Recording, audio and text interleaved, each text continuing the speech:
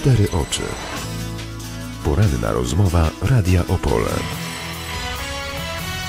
Dzień dobry Pani Prezes. Dzień dobry. Minister Edukacji zapowiedziała ostatnio po spotkaniu między innymi ze związkowcami, że odbędzie się szeroka debata poświęcona planowanym zmianom w oświacie.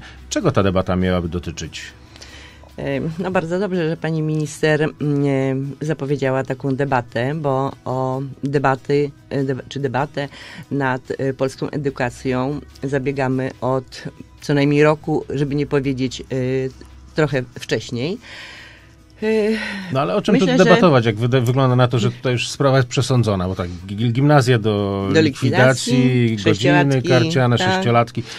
E, myślę, że może niekoniecznie, mm, e, przynajmniej jako Związek Nauczycielstwa Polskiego uważamy, że jeszcze chyba wszystko nie jest przesądzone, bo skoro pani minister zapowiada debatę, o którą zabiegaliśmy, e, to wydaje się, że taka debata powinna się odbyć. Problem edukacji w Polsce a w tej chwili y, problem, czy likwidować gimnazję, czy nie, jest zbyt poważną sprawą dla edukacji, dla kształcenia, przede wszystkim dla dzieci i młodzieży, ażeby przejść nad tym tak do porządku dziennego. Bo co nowa ekipa rządząca się pojawia, e, to padają jakieś nowe pomysły, e, a w tej chwili wydaje się, że ten pomysł rewolucyjny bardzo, który miałby zmienić cały system edukacji, należy dobrze przemyśleć, czy rzeczywiście te gimnazja należy zlikwidować. Hmm? A ja, pani ocena jaka jest? Moja ocena jest taka, że to, co źle funkcjonuje obecnie w gimnazjach, to należy poprawić. A y, odwrócenie, przewrót taki chyba nie będzie służył dobrze ani uczniom przede wszystkim, ani nauczycielom, i myślę, że cały, całemu kształceniu. Wydaje się, że e, jeśli, bo ja tak zadaję pytanie, jeśli likwidować, to mówię tak, jakie są powody likwidacji? Zadaję pytanie, co e, skłania do tego, żeby zlikwidować gimnazja?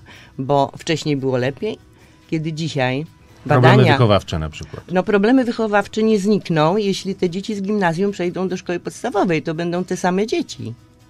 Jeśli są problemy wychowawcze, oczywiście, to e, naszym zdaniem e, należy wspomóc nauczycieli, rodziców e, w zwalczaniu czy e, tych e, problemów i uważamy, że należałoby więcej zatrudnić psychologów, pedagogów, których nie ma normalnie w gimnazjach albo w niewielu.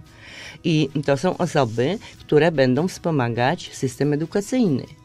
Ale y, czy jeśli przesuniemy z gimnazjum młodzież do szkoły podstawowej, to ona będzie inna? Nagle zmieni się, będzie lepsza? No ale zwolennicy tego rozwiązania mówią tak, że ta młodzież po prostu zostanie w szkołach, w których y, była sześć poprzednich y, lat, w szkołach, w których nauczyciele znają tę młodzież, znają rodziców, mają kontakt z nimi. A w gimnazjum to tylko 3 lata, więc te dzieci jakby są wyrwane z poprzedniego kontekstu e, i to taki międzyczas pomiędzy szkołą podstawową a pójściem dalej w dorosłe życie. No ja akurat nie podzielam te, tego poglądu. Powiedz, yy, popatrzmy, co się dzieje yy, w naszym systemie kształcenia. Klasy 1-3 to przeważnie jeden nauczyciel, potem dziecko przechodzi do klasy czwartej. Myślę, że yy, tutaj mógłby być większy problem, bo przez 3 lata małe dzieci bardziej y, przywiązują się do nauczyciela, a w czwartej klasie już pojawia się więcej nauczycieli. Myślę, że dzisiaj y, młodzież no, w większości jest na tyle y, w stanie sobie poradzić, a jeśli jeszcze będzie miała wspomaganie ze strony nauczycieli i jak mówiłam, pedagogów i psychologów, to te problemy wychowawcze będą lepiej rozwiązywane.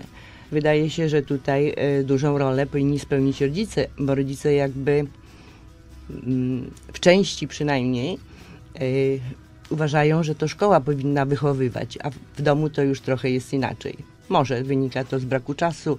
E, rodzice niewiele poświęcają czasu, ale chyba niekoniecznie tak to wygląda, że te problemy znikną jak za mhm. kiwnięciem różdżką.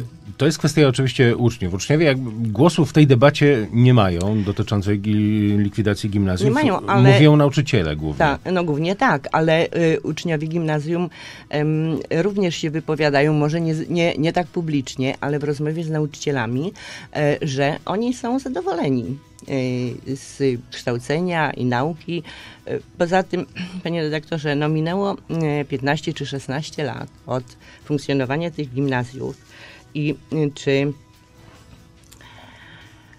czy to będzie lepsze? Ja nie może ta debata wykaże, bo wydaje się, że w tej sprawie powinni wypowiadać się i eksperci, i ludzie, którzy znają się na edukacji, również y, również y, przedstawiciele Ministerstwa Edukacji. A politycy? E, a politycy, y, no myślę, że Powinni może, mieć głos w tej sprawie? Może nie do końca, bo to znaczy tak powiem, politycy, którzy byli związani z edukacją, pracowali, bo mamy nauczycieli, którzy w tej chwili są w polityce, więc wiedzą o czym rozmawiamy. Ale myślę, że jak to w naszej Polsce funkcjonuje na edukacji, na e, zdrowiu, to wszyscy się znają, a chyba niekoniecznie. To jest jedna ze zmian, ale tak. mówi się też o mm, zmianach dotyczących y, programów nauczania. Te zmiany są potrzebne? Tak, bo jeśli ten y, system zostanie odwrócony, y, będzie, będzie inny system kształcenia, inny, tak, szkoła podstawowa, gimnazjum, czy nie, gimnazjum, tylko już szkoła ponad, ponad, ponadpodstawowa, to oczywiście trzeba zmienić, przystosować programy, bo mamy teraz 1.6, tak, program, a trzeba zrobić 1.8 e, podręczniki do tego przygotować, a więc te zmiany nie będą e, takie bezkosztowne i mm, jak zapowiada ministerstwo. Ale ma być więcej pewno... historii na przykład. A to dobrze, to dobrze. Ja jestem za tym, żeby było więcej historii. A nie, nie wypowiem się, jakich mm, lekcji widziałabym mniej, ale myślę, że to jest w dobrym kierunku. Y czy są jakieś szacunki, ilu nauczycieli w naszym regionie miałoby stracić pracę, gdyby zlikwidowano gimnazja?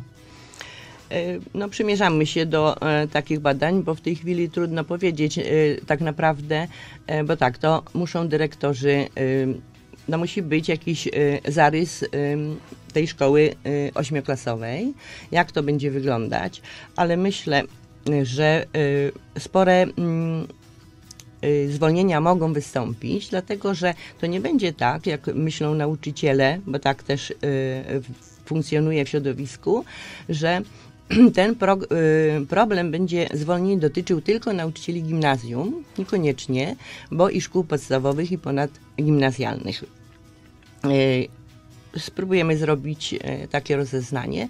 E, w województwie e, opolskim jest około 5,5 tysiąca nauczycieli, którzy pracują w gimnazjach już wiemy, że połowa z tych nauczycieli jest przeciwna, robimy takie badania ankietowe, jest przeciwna y, rozwiązaniom proponowanym przez Ministerstwo no Edukacji. No tak, bo stracą pracę.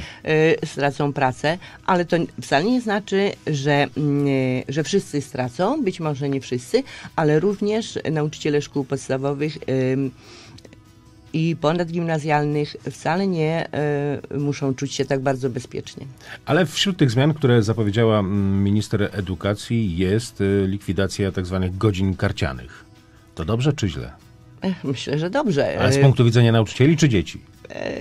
Myślę, że mm, z punktu widzenia nauczycieli, bo jeśli chodzi o dzieci, to wydaje mi się, że tutaj nic się nie powinno zmienić. E, y, godziny karciane po prostu e, nie będą musiały być, że tak powiem, rejestrowane, będzie mniej biurokracji i tych zapisów.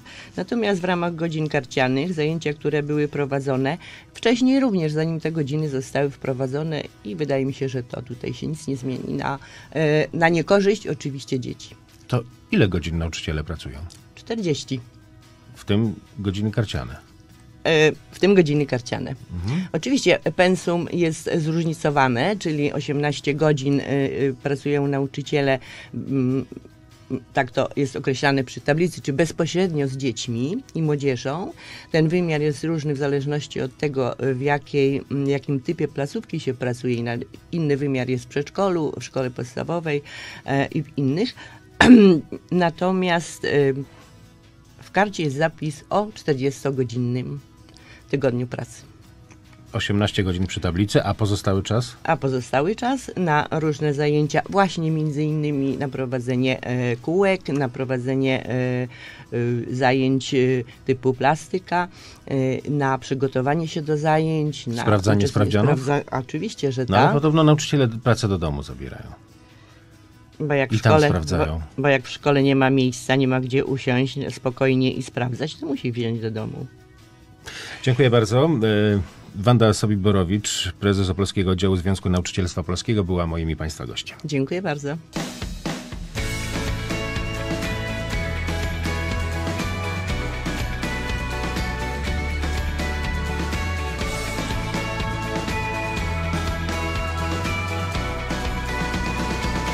Radio Opole. Twoje sprawy, Twoja muzyka.